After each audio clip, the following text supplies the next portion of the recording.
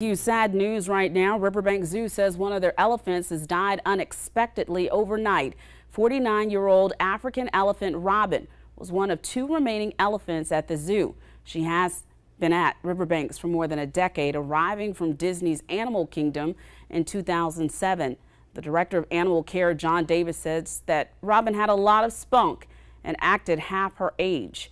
Back in June, it was announced that Robin and another elephant, Belle, would be relocated to a different zoo. So, of course, the Riverbanks Zoo community is sad to hear of her passing.